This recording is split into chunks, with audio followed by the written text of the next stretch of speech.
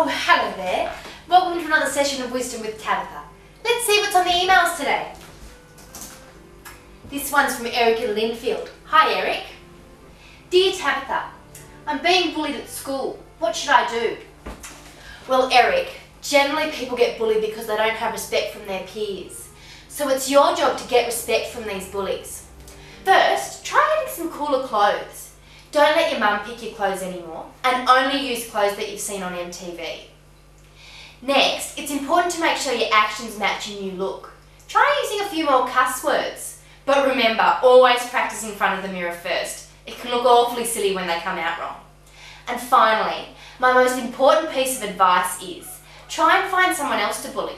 When these bullies see that you can stand up for yourself in front of some year 7 kid with glasses, they'll respect you enough to leave you alone.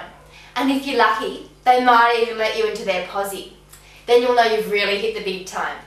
Remember, all things are possible through Christ. You can be cool.